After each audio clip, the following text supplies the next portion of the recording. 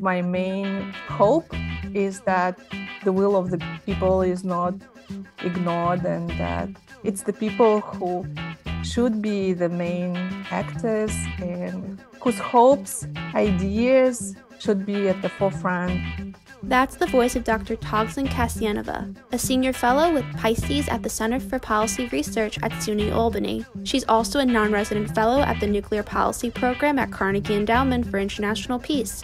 She's the author of the new book, Atomic Steppe How Kazakhstan Gave Up the Bomb. She's today's guest on Press the Button, a Ploughshares Fund podcast dedicated to nuclear policy and national security. And now, here are your co hosts, Tom Collina and Michelle Dover.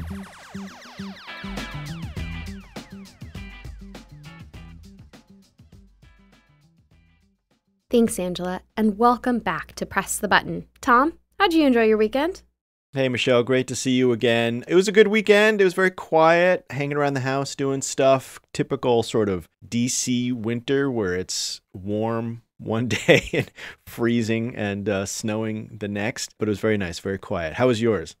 Mine was good. So I know most people watch the Super Bowl, but I have been watching the Formula One controversy. Have you been following this? I have not. Please do tell. Okay, so very quickly, the Formula One World Championship last December, Max Verstappen won over Lewis Hamilton due to a race director's controversial call. I mean, this was like wild. And just over this last weekend, right in advance of Red Bull unveiling the new design for their car, somebody re released or like amplified this leaked audio from the race where the Red Bull sporting director, Jonathan Wheatley, directly lobbied the race director about this key controversial decision. Turns out the race director like used Wheatley's exact words to justify his decision. So I know it's not super new, but it blew up last week. I cannot get enough of the drama. So, anyways, that was my weekend. Fascinating stuff. I just have to ask have you ever been to a live Formula One race? Not a Formula One race. I've been to a NASCAR race. I've been to several NASCAR races. They are really, really cool. So, have you been to a Formula One race? I went to one. It was the loudest experience of my entire life, but it was fascinating. But back to the actual news. From what's going on here at Ploughshares, the request for proposals that's due this week, February 15th. The other thing that we want to uplift, it is Black History Month. There's a lot going on in the community.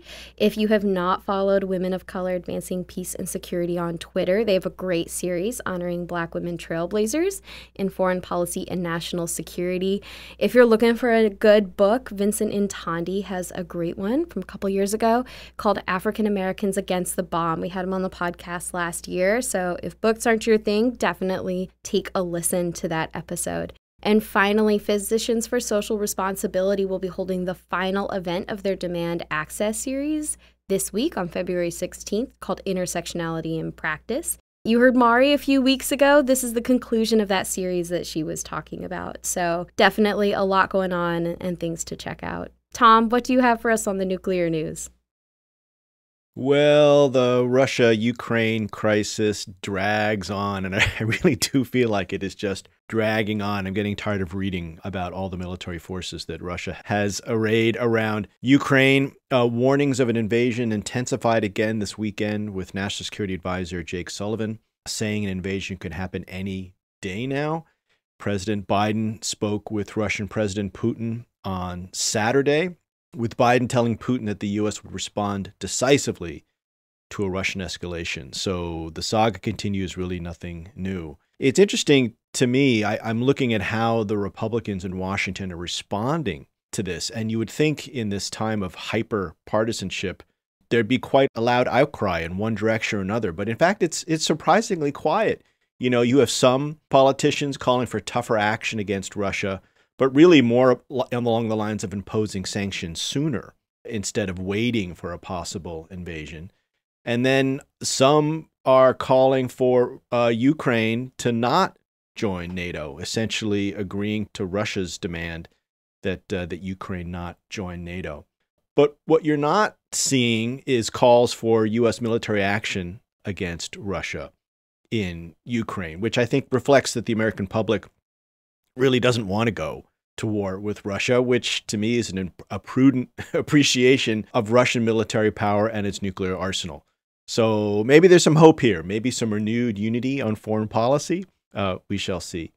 On the Iran front, the talks resumed last week. We're hopeful that progress is being made. We could know this week or next week, in either case, very soon, whether a deal will be reached out of Vienna or not, and what kind of deal that might be. If we do get a deal, we will surely have a fight about it in Congress. So we'll be keeping a close eye on that. And so today on Early Warning, we're going to discuss the possible outcomes from Vienna and what that might mean for a conflict in Congress. So please stay tuned. And after that, I sit down with Dr. Togzhan Kassenova, a senior fellow with the Project on International Security, Commerce, and Economic Statecraft at the Center for Policy Research at SUNY Albany. She's also a non resident fellow at the Nuclear Policy Program at the Carnegie Endowment for International Peace.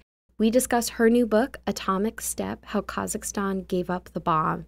It's a really timely conversation given everything that happened in Kazakhstan over the last month what's going on in Ukraine now. And as we had, had, mentioned on the intro last week, it's how the story of Kazakhstan's decision to give up the bomb and pursue a leadership role in nonproliferation in the world was not a guaranteed one or a linear progress. It came as the result of a lot of discussion and debate within the country. Um, and I really also appreciate how she tells the story from the perspective of the people of Kazakhstan and, and what the bomb has done and has meant to them. Very timely book and timely conversation. So I look forward to hearing that. And if you like what you hear, as always, please remember to hit subscribe and leave us a rating. Your feedback helps us improve the show. And with that, let's get into today's episode. The clock is ticking. And now, Early warning. Early warning. Early warning. Early warning. A seven minute synopsis of this week's nuclear news. Thanks, Dell. Biden administration negotiators are back in Vienna seeking to revive the 2015 nuclear deal that contained Iran's nuclear program, that is, until President Trump withdrew from the pact in 2018. Reports indicate that the United States and Iran may reach a deal by the end of this month. And this being Washington, the possibility of a deal in Vienna has awoken the political opposition in Congress. For example, a group of 33 Republican senators recently called on the White House to put a renewed Iran deal to a vote in the Senate as a treaty, which would require 67 votes and then essentially doom any possibility of passage. Not to be outdone, pro diplomacy Democrats, such as Senators Murphy, Markey, and Merkley, have been speaking in favor of reviving the Iran deal, and more than 20 pro diplomacy organizations, including, full disclosure, Ploughshares Fund, released a letter to the administration supporting Biden's efforts to revive the deal.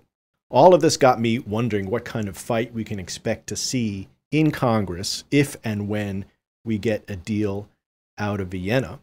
So today it is my pleasure that we are joined by Sara Haghdoosti, who is the executive director of Win Without War. Sara, thank you so much for being here. Thank you so much for having me.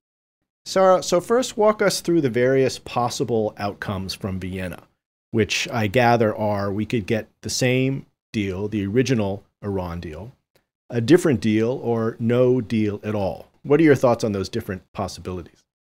It's a great question. And of course, talks are going on in Vienna as we speak. So there's a chance that by the time people are listening to this, that we already know the outcome. That said, the best and cleanest outcome is that all parties, particularly the United States and Iran, agree to come fully back into compliance with the JCPOA or the original Iran deal and have an agreed upon path to do that as quickly as possible. Unfortunately, there is also the possibility that despite the progress we're seeing and the optimism we're hearing, that the talks collapse and we enter an incredibly dangerous new phase of this crisis and as you mentioned, finally, while it's looking less likely, it is possible that negotiators agree to some sort of interim deal or something short of a full return to the JCPOA to give themselves more time to work out next steps. And while all of this is playing out, I think it's incredibly crucial to remember that Iran's nuclear program is growing. We remain dangerously close to war. And most importantly, everyday people in Iran are suffering tremendously under the double challenge of both an incredibly oppressive regime and really harsh impacts of US sanctions. And now, based on those different possibilities, what do you see as the battle lines in Congress if we get a deal? And do you think there will be a vote at all? Well, let me start by saying that I would hope that after decades of failure from our endless wars, Congress would be jumping at the chance to support diplomatic breakthroughs that help prevent another tremendous crisis in the Middle East. Sadly, we know that US Congress isn't where most of us look to for rational policy making or common sense at some points. That said, as listeners of this podcast probably know, Congress has created a process to review nuclear agreements with Iran back when the JCPOA was originally created. And of course, the JCPOA has already gone through such a review. Simply coming back into compliance with it would not likely trigger any new congressional action. That said, Republicans in Congress and a small number of hawkish Democrats, like Senator Bob Menendez, have indicated that they may well try to undermine any deal that comes through Congress. The good news is that the overwhelming majority of Democrats continue to support President Biden on keeping his campaign promise to resolve this crisis through diplomacy. And they do that not just because it's popular with Democratic voters, but it is popular across the political spectrum. No one wants to see another war in the Middle East. And ultimately, I'm confident that pro diplomacy forces, if necessary, will turn out and we can ultimately win any votes we need in Congress to defend this deal. Now, finally, Win Without War was also one of the signatories of the pro diplomacy letter. Can you explain why Win Without War supports the Iran deal and what should people be doing to help build support in Washington? Supporting diplomacy with Iran for us is common sense. It's an absolute no brainer. And the reason there is the JCPOA worked exactly like it was meant to. It has been the only thing we've seen actually help resolve this crisis. And it was working until Donald Trump unilaterally walked away from it. Trump's reckless and dangerous policy brought us to the brink of war with Iran multiple times, led to Iran's nuclear program accelerating, and importantly, also add to incredible amounts of suffering for people in Iran in the midst of a really horrific global pandemic. The only path forward to resolving this crisis is through diplomacy. And we, like many others, are doing everything we can to support it. And the biggest thing that people need to do is make sure their voices are heard loud and clear in the halls of Congress. The pro war interests are definitely not shying away from having their voices heard. And the good news is that fundamentally, there's more of us than there is of them. And the only way we could lose on this is if the people who believe in diplomacy don't show up. And from the conversations I'm having and seeing with activists around this country, I'm very optimistic that that's not going to happen. Sara, thank you so much for your time, and I wish you the best with all your work. Thank you so much for having me. Hi, I'm Bonnie Fisk, Deputy Director of Development at Ploughshares Fund and a Press the Button listener. When I first joined Ploughshares Fund back in 2018, I didn't know anything about nuclear weapons. I came here with just the motivation to help create a safer world and a commitment to lifelong learning. My colleagues told me they'd teach me everything I need to know, and did they ever? Still do, actually. As I continue to grow ever more committed to Ploughshares Fund and the reduction and elimination of nuclear weapons, I found that I rely on Press the Button so much. It's a resource for the latest analysis and a place where I can drop in fully, without distractions, and gain new insight into this issue I've come to know and love. I find inspiration from the weekly guests and our partners, and I know I'm a better contributor to our cause just by tuning in. Please consider supporting Ploughshares Fund and helping make Press the Button possible by making a donation today. Visit ploughshares.org slash donate today. And thanks for listening.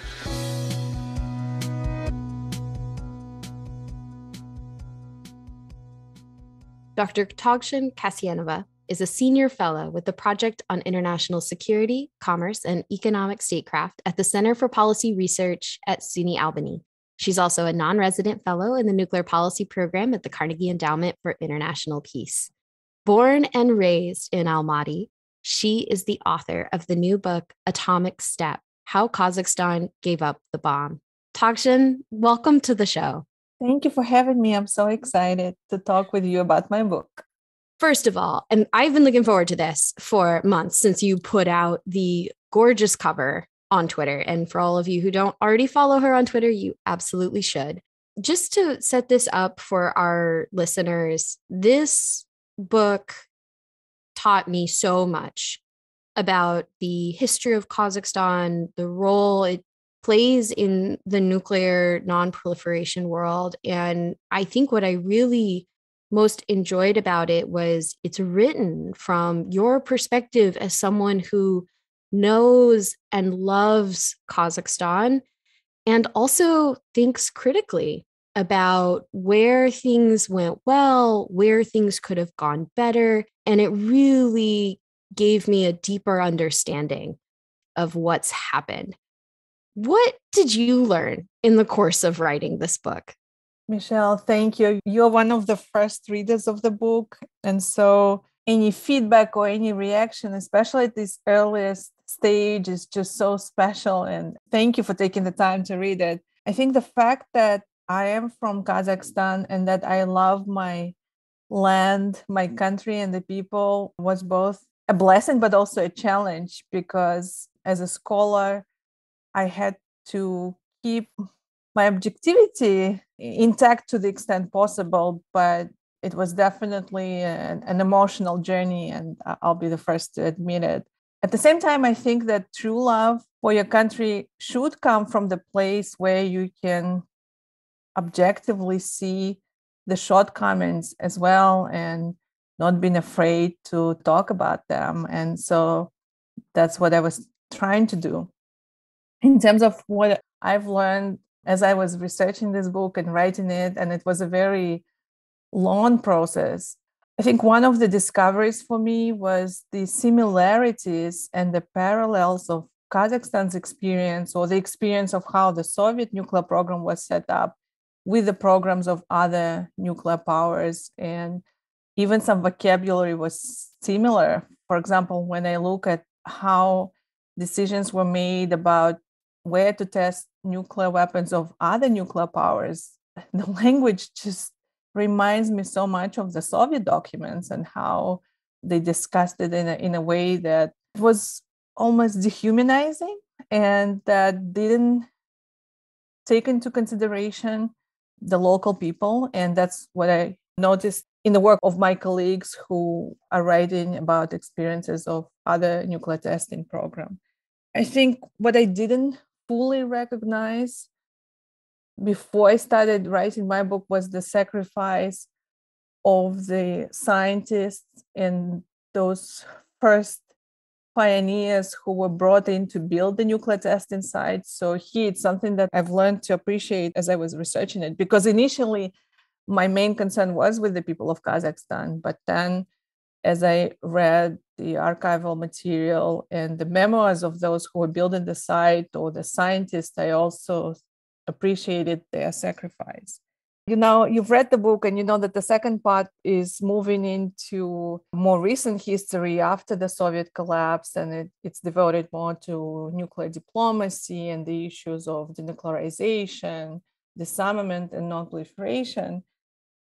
And, and here, I think the pleasant surprise was about the role of scientists and the role of technical experts and just people on the ground, you know, how often they would be the ones driving their governments. And, and I'm specifically talking about mm, people from Kazakhstan, Russia, and the United States, how often they would be the ones pushing their governments to go even deeper, right? When we're talking about the projects, uh, most of which were very sensitive, and it was those human connections and trust built at the ground level that was just so important. and here I wanted to mention a, a story which I think just shows the humanity of it all. In the chapter in which I described the secret US Kazakh operation to remove almost 600 kilograms of highly enriched uranium from one of the facilities in Kazakhstan to Oak Ridge, there is an episode how American project participants, for some of them, first time abroad, obviously first time in Central Asia or in Kazakhstan, and how they would invite for coffee or share coffee with some of the facility workers. And at the same time, the local workers would bring them pickled vegetables, which is like a staple in the former Soviet Union. Or sometimes they would bring them some fish soup and stuff like that. And often they wouldn't even be able to speak the same language. But I think I loved the humanity that was present at every level, going from the ground through the ranks and to the high level. Going back to the point you made about the commonalities, I did not realize how truly each of the nuclear weapon states when they talk about where they selected testing sites you know exactly as you say it's the language of the officials are talking about these deserted lands. And they're actually the home of indigenous people who've been there for centuries and have a deep culture way of life that's completely upended. And i really appreciated that you started and ended the book with their stories and and i think the other piece too that i i was really struck by and this is coming from growing up near one of the nuclear weapon sites in the us is it was really haunting to see just how much similarity there is in the lack of data about what the impacts were on human health and on the environment and how difficult it is to get a sense today of the scale of it because these official decisions were taken not to collect it. And so I, I, really appreciated the way that you're able to go into the archives and find what exists and actually translate it and, and bring it forward. But that was something I found I found really just striking in in how it's very similar.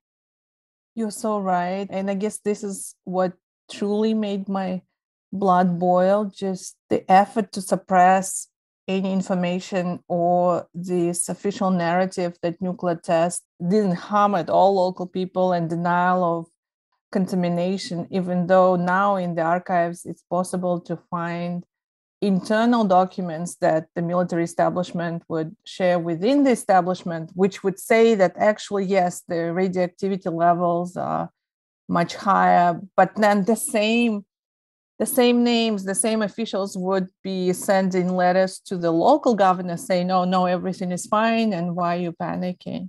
And you know something that you've mentioned that they were not interested in terms of people's health, and it's it's true that nobody was treating people for these diseases, and nobody wanted the information to be in the open.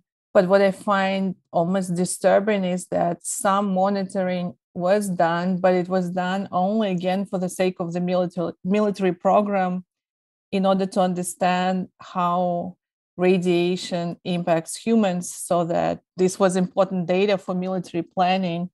And you've read an episode in the book which describes this clinic in Semipalatinsk which was disguised as an anti-brucellosis clinic. And they did a study on 10,000 people living near the testing site and then 10,000 from control area from further away. And that clinic had 10, 15 hospital beds. So that just shows that if any monitoring was happening, it was only done for a specific purpose, not in order to provide information to healthcare professionals or to people and then getting to the the point you were talking about that you know the second half of the book and and this is where i'm a negotiation nerd so these stories of like i'm always curious how do you get to yes now the traditional narrative i think that i have heard in working in the nuclear policy field is that you know Soviet Union fell.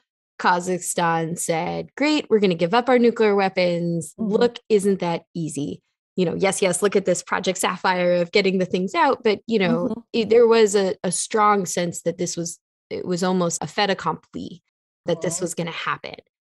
But your book really dives below the surface, and, and that wasn't the case. Can you tell us more about what that traditional narrative misunderstands about the situation?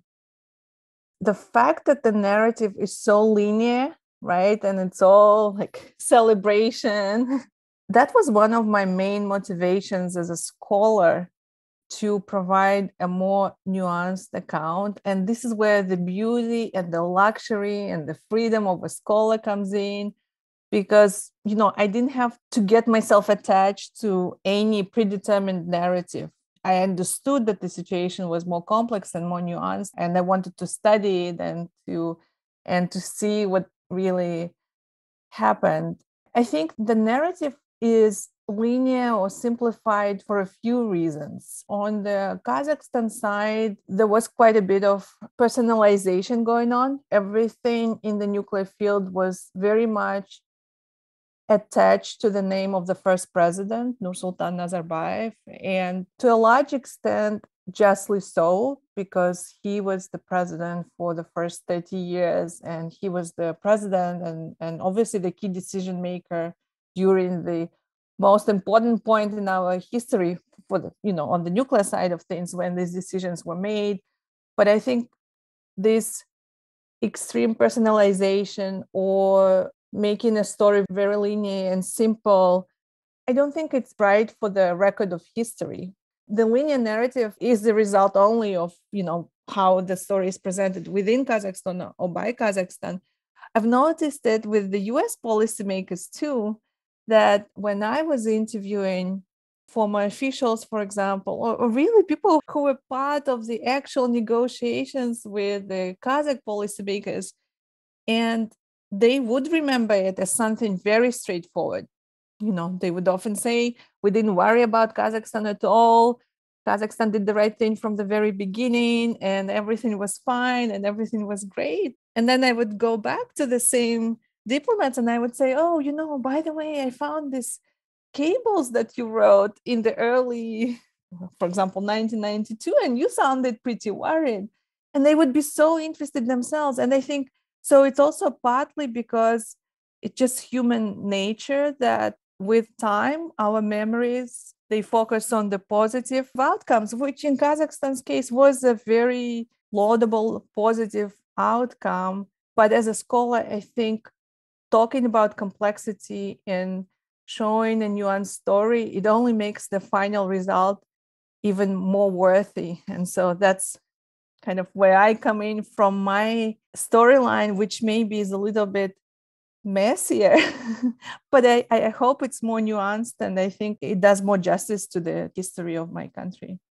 Another thing which I think is important, it's the strategic decision of Kazakhstan is important not only and not as much about the weapons themselves, because um, Kazakhstan didn't have access to command and control. I think an even bigger story that Kazakhstan made a strategic decision on nuclear material that remained in Kazakhstan and on all the critical nuclear infrastructure that was also available. So, you know, while even the title of my book focuses kind of the bomb, right? And I and I think mostly in our field we talk about all the weapons, but it's super important that there was also material and the infrastructure and that decision was made about all these components were valuable exactly as you say, it was this decision to pursue a different path completely.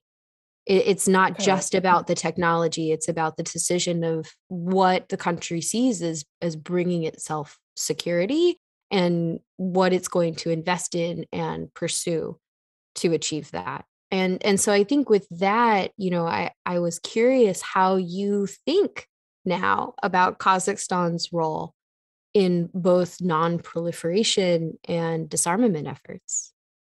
That's one it's not the only, but I think that's the component of Kazakhstan's foreign policy that I'm most proud of and where I think the record is exemplary. Again, with the caveat that, you know, for me as somebody who is not a diplomat, right, and never worked for any government, for me, how sometimes our nuclear policy is presented is a little bit, again, too personalized, too attached to specific names. Having said that, I want to reiterate that I think the policy itself is truly sincere. And the history can explain that. It's because there is legacy of the Soviet nuclear tests. It, it's because the society is, is very uh, anti-nuclear. It is because how the country and its leadership sees the country is as you know as a constructive member of the international community. We do have it as a as part of our national identity and that you know we are between different cultures and different countries different continents that we have this almost responsibility to be a country that is contributing to common good rather than creating concern for others. So in that sense i think it's really sincere and nation driven effort and I think it's important that Kazakhstan has the expertise and the infrastructure that can make a practical, tangible contribution.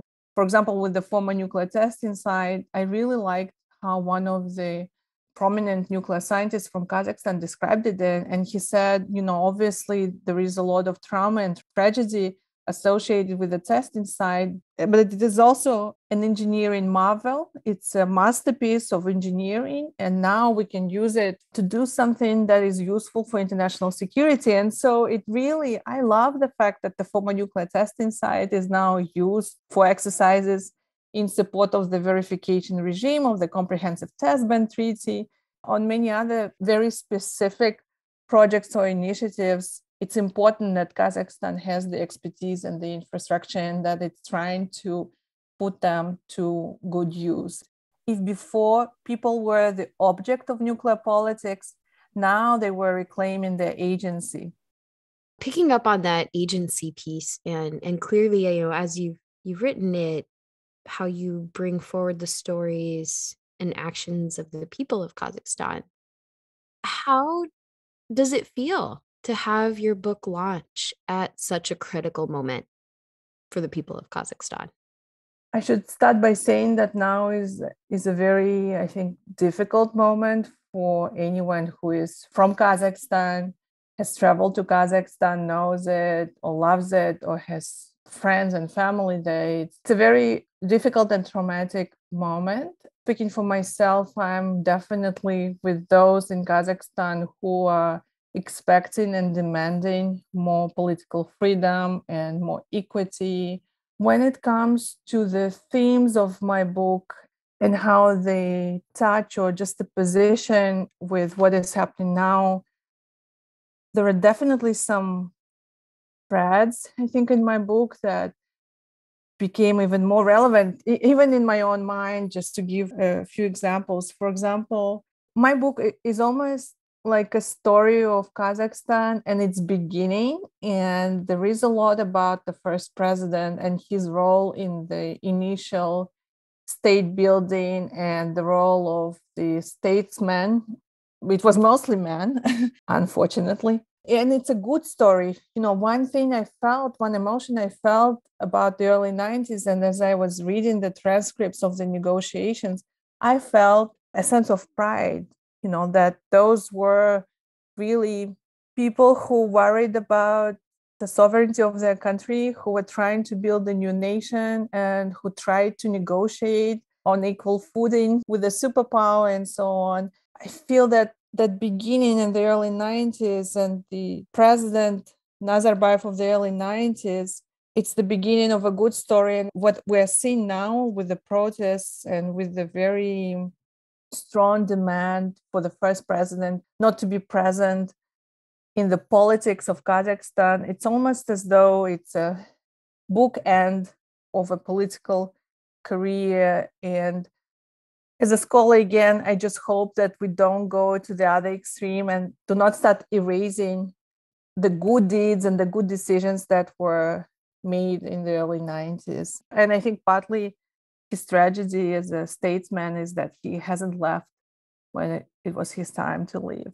Another component uh, you probably saw from the news that there was a lot of concern and criticism within Kazakhstan when the current president invited the military of a collective defense mechanism that Kazakhstan is part of, and foreign troops, including Russian troops, arrived to Kazakhstan to help during the crisis. And and I think for anybody who knows anything about Kazakhstan's history, and even from my nuclear focus book, it will be clear why there was such concern. People of Kazakhstan, I think we are pretty sensitive about sovereignty. You know, we are a new country, and that's why having any foreign military on Kazakhstan's land could have such a strong reaction uh, from the public. And I would add my answer to your question by again going back to people. And I think what comes out in my book is the power of the people and how, for example, 40 years they were suffering from nuclear tests. And then finally, all this anger kind of broke through, right? And this huge anti nuclear movement just swept away in a way the military establishment and the and the testing site was shut down. And i feel that we're observing something similar in Kazakhstan right now as well that it's a society in which dissent is controlled and suppressed and protest movements had very narrow space to express themselves. And then suddenly you know a moment comes up and, and you have this very vocal say of the public of the people. And so yeah these are some of the emotions i'm feeling and some of the parallels that i see between my book and what's happening right now. And for me again the my main hope is that the will of the people is not ignored and that it's the people who should be the main actors and whose hopes ideas should be at the forefront and it shouldn't be about political elites and and big politics or diplomacy speaking as someone who is not as familiar with Kazakhstan's story, I know reading this book as these events have unfolded, it really drove home for me where some of the seeds lie or where some of the key historical moments that are eating into those concerns lie. To say it was timely would be an understatement. Mm-hmm. And so uh, you're doing, I'm sure, quite a few events. And now that the book has launched and you're hearing from people who are, are reading it for the first time. And how is that helping you relive the process of research and writing? When you think back, like what is it bringing forward as the most striking, memorable moment for you as you wrote this book? So the book will officially launch in less than a month on February 15th. And everybody is invited to an event that will be hosted, virtual event that will be hosted by the Carnegie Endowment for International Peace. I've just heard from some of my, some of my friends and colleagues that pre-orders started shipping. So I think soon I'll start hearing from the readers. So far, I've heard, you know, from people like yourself, for reviewers who started getting some earlier copies. And I think this moment is just so special for me. It's as though that when the book truly launches and it's out there, that it will have a life of its own. I've done my part and now it will live its own independent life.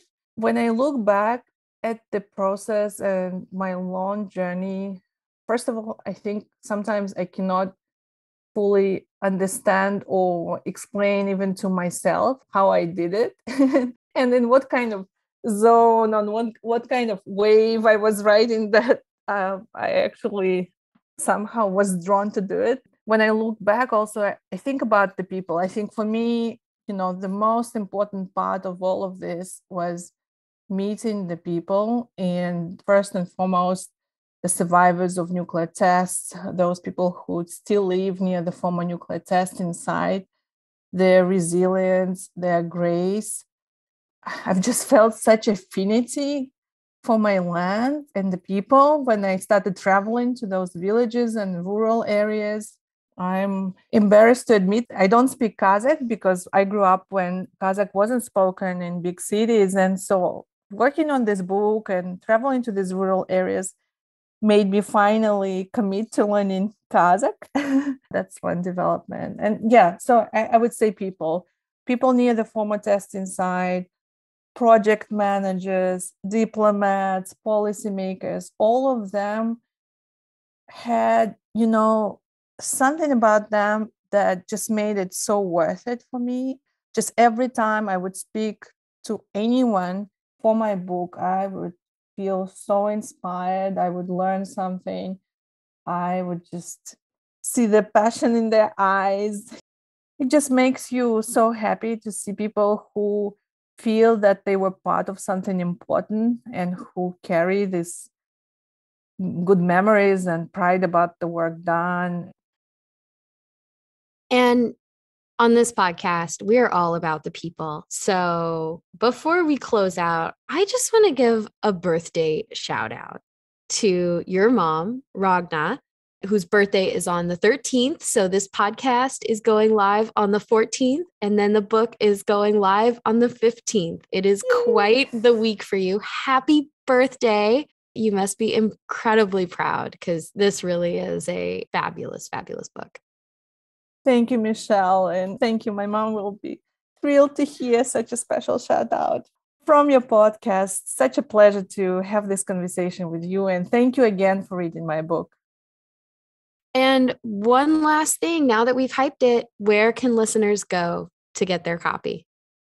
I'm a big believer in independent bookstores and indie publishers. And so my first recommendation would be to go to Stanford University Press website because that's where you can use a special 20% discount code.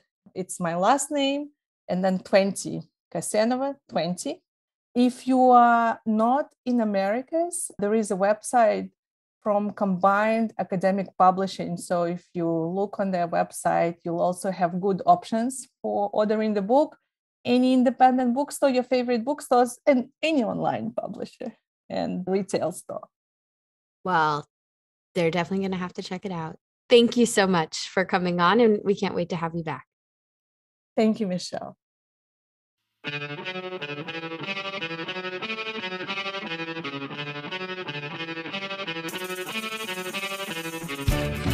Thanks for listening to Press the Button.